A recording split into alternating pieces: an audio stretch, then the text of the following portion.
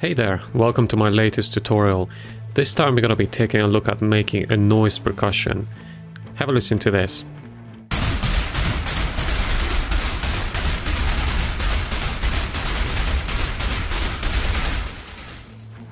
Right, so there's two types uh, that I like to categorize a noise percussion by. One of them is supportive, meaning that it adds to an already existing sound within your mix, and the other one is where the noise percussion itself stands out. Today we're going to be making something that stands out more than it supports, uh, but it can depend on how you mix it in at the end. So uh, because it's a synthesizer, there's a lot of possibilities with how you want it to sound like, and you're welcome to adjust it uh, anytime during the video or during the time that you are trying to copy this. Uh, I want you to take home the concepts as opposed to the technicalities, but if you do have access to a Zebra 2 or a Dark Zebra synthesizer, you're welcome to copy what I'm doing and see if you can make it sound like mine. So to start this off, uh, I'm gonna start out with just a noise generator. And uh, before I do anything to the sound itself, I'm gonna go to the arpeggiator. And you're welcome to do it in your synthesizer as well. And find a pattern that you like the sound of. I find that depending on what rhythm you're using uh, the type of sound can greatly change. This is what i have so far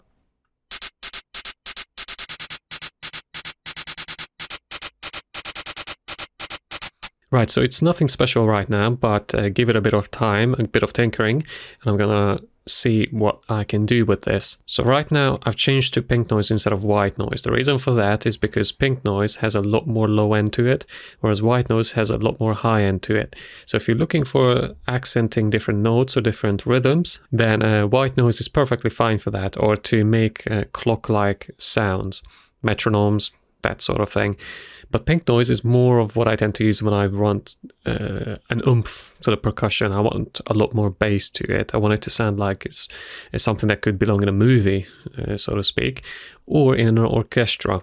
That's not to say that they have to be mixed in with those kinds of genres, but it's a good starting point for you to imagine what type of sounds you can make with these. So what I'm going to do is I'm going to change to stereo and I'm going to increase the width as much as uh, possible, not to 100, but again, depends on what you like the sound of. And it should sound something like this.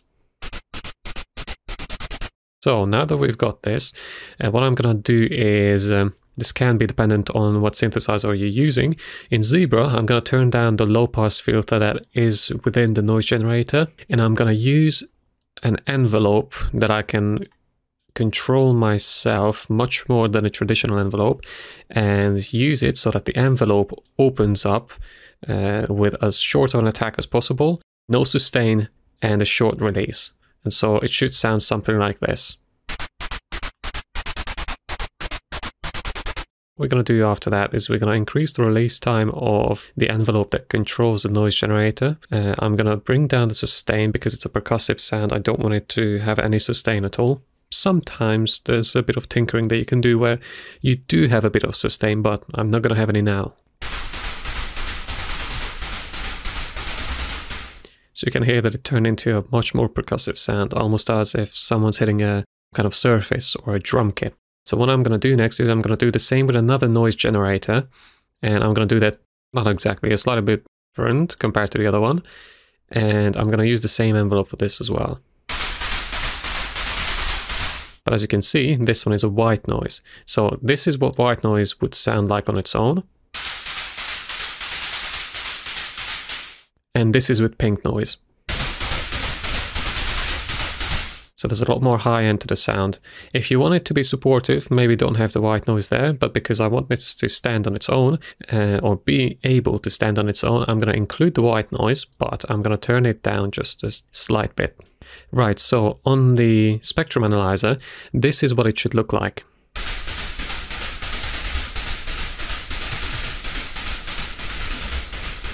As you can see, the more that I lower the volume, uh, the less high-end content there is.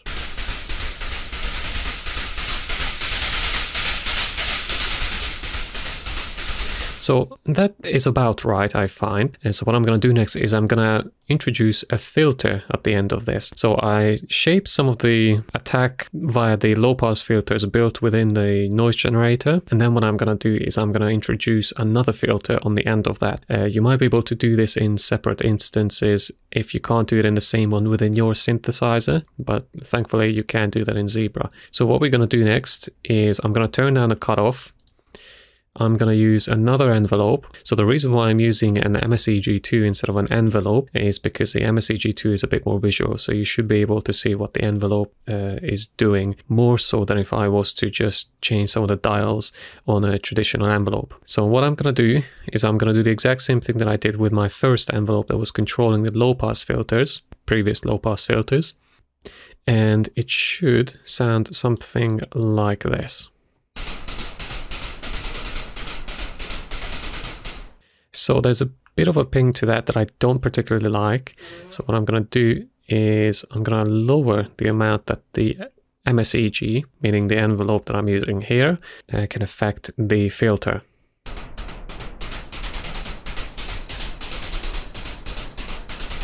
Now let's see, I'm not overly convinced with the white noise being as loud as it is,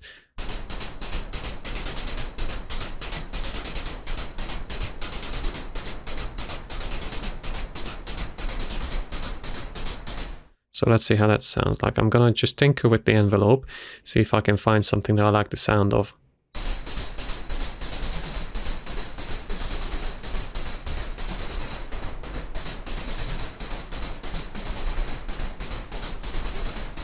So far, that sounds fine. Uh, let's see. So the next thing that I'm going to be doing is there is a reason why I don't have every note playing in the arpeggiator. Sometimes you might be able to find that if you take out certain notes and then introduce them within a delay, it sounds a bit more interesting. Let's see if I can find a pattern that I like the sound of.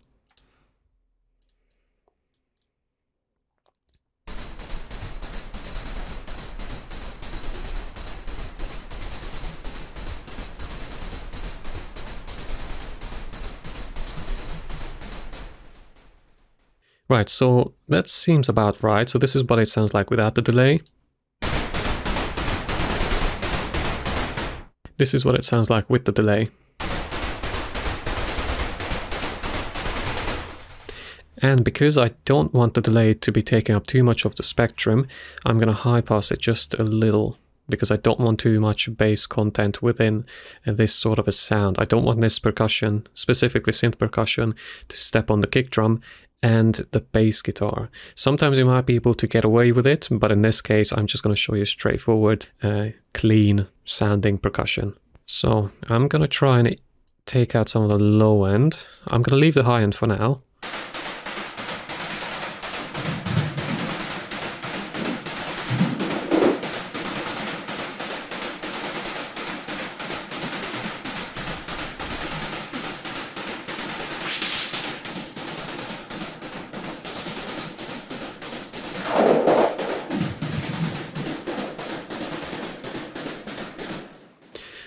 So that seems about right. Now, to make this a little more interesting, what Zebra also allows me to do is to have an LFO control the amount that a, an envelope uh, controls the filter here. So what that means is what the LFO is doing is it's reducing and increasing the amount that this MSEG2, which is what is currently controlling the filter, is doing. So I'm going to show you an extreme version of that and I'm going to speed up the rate so it's a bit easier for you to hear. I'm going to use triangle instead of a sine shape to it and let's see what that sounds like.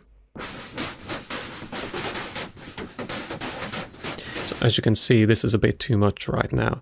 What I want is slight variations within the sound to make it a little more interesting. That's how a lot of synth sounds should be made is they should be changing ever so slightly. What I'm also going to be doing is I'm going to be introducing some distortion to it uh, because a lot of time if I want an aggressive sounding percussion, distortion can go a long way.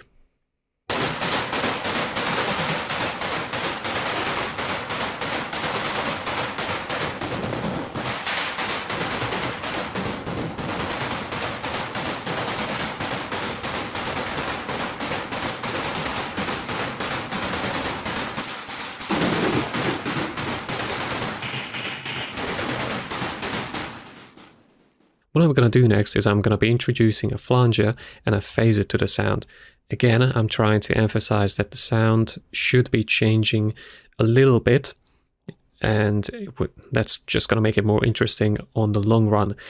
So let me turn off the flanger. I'm just going to focus on the phaser. I'm going to try and find something or some kind of movement that I like and I'm going to dial back the mix so that it's not taking over the whole sound but just uh, uh, changing it ever so slightly.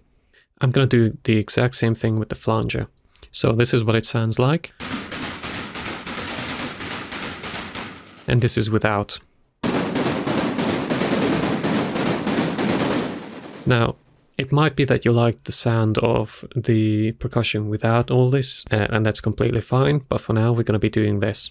Right, so what I'm going to be doing next is I'm going to put in a compressor uh, just to even things out a little bit, but not so that it steps on the transient, meaning the attack of the sound.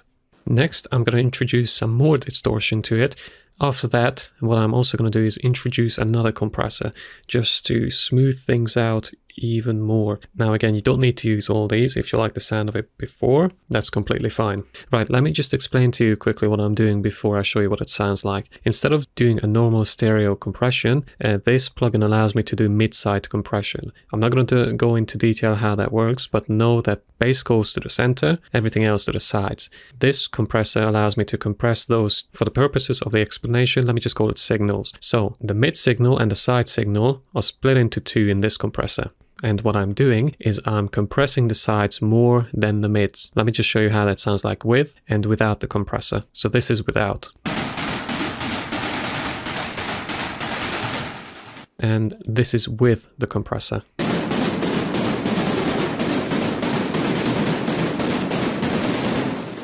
Now one thing to also note is that it is a bit louder because I can't make the output of this compressor any lower than it is now. Uh, that's just the way that it was designed. Uh, so what you also want to be doing whenever you're changing sounds this way is to loudness match. You don't want the outcoming signal to be louder than the incoming signal, because one way to trick your ears is to play something loud compared to something quiet. Automatically, you're always going to say that the loud is better than the quiet one. And then what I'm going to do is to just show you a couple of variances with the way that something like this can sound. Even via the small changes of an equalizer, sound can drastically change. And let me just add all the bass back in so you can hear what that sounds like. What I could also do is I could actually boost the bass and I could lower the highs and this is how that sounds like. So I don't know if you can hear it on your system, but the bass here is a bit too much. Something like this would muddy up the mix greatly, so you want to stay away from something like this. What you could maybe do is not boost the bass this much and not take off the high end this much and let's see how that sounds like.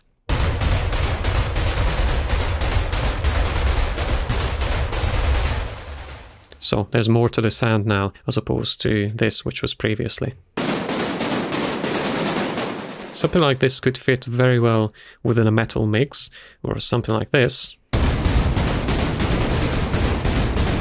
you would need to watch out uh, so that you don't step on the kick drum and the bass guitar, but mainly the kick drum. So this is it. Uh, this was just a short tutorial. Uh, again, I want you to take away the concepts, not the specifics of it. So first of all, noise generation, going through filters, distortion, equalization, and maybe some effects can greatly impact the way that your song sounds. It can help it, but it can also take away from it if you don't watch the spectrum that you're taking up with it. So to revise some of the things that I have gone through in this video, you can make two different types of sounds. One is supportive, which uh, enhances certain sounds within your music, such as a kick drum, a snare, the hi-hats, that sort of thing or you can make a noise percussion which stands out. The main difference between the two is the amount of frequencies or spectrum range that they're taking up. The more supportive a sound is, the more you need to go into the equalizer and take out sections of it. Right, so what I want you to do next, if you really want to learn how to do these things, because they're not very difficult, they're rather simple, is to focus on the patterns that you're making with it. Maybe try and combine something like this with a guitar distortion. Maybe introduce some reverb to the sound to make it a bit more distant sounding. Or maybe bigger, if that is a way that you would describe it. But that is pretty much it. Thank you for watching.